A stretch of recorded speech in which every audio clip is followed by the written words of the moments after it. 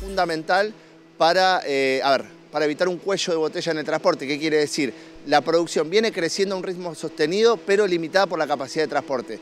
A partir del desarrollo de esta nueva infraestructura se va a permitir un salto, exponencial. La capacidad de transporte va a pasar de, de Muerta desde los 230.000 barriles por día a más de 500.000, permitiendo obviamente el aumento de la, del transporte de crudo, de la producción de crudo y en última instancia de la exportación de crudo con la consecuente generación de divisas tan importantes y tan necesarias para nuestro país. Bueno, ¿qué significa esto no solamente para el presente del país, sino para el futuro inmediato? No, es, es fundamental. A ver, para tener una noción, Argentina hoy ya se autoabastece de, eh, de petróleo en grandes cantidades, más allá de alguna pequeña importación de acuerdo a los grados que se necesitan para la refinación para los combustibles.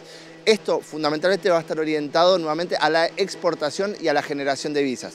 Para que tengas una noción, el desarrollo de este proyecto puede generar ingresos anuales, de acuerdo a la oscilación del precio del petróleo, hoy en 95 dólares, en un valor alto, entre los 5 y 8 mil millones de dólares anuales. Así que la verdad que es una noticia excelente para nuestro país.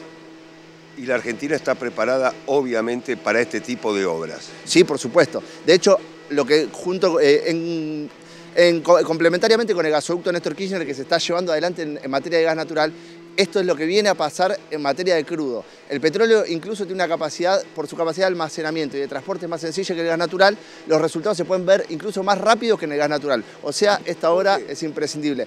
Por nuevamente, por las características que hacen al petróleo. La capacidad de transporte, de almacenamiento, el mundo está demandando petróleo y va a continuar haciéndolo por las próximas décadas. Así que es una noticia imprescindible y la verdad que es una excelente novedad.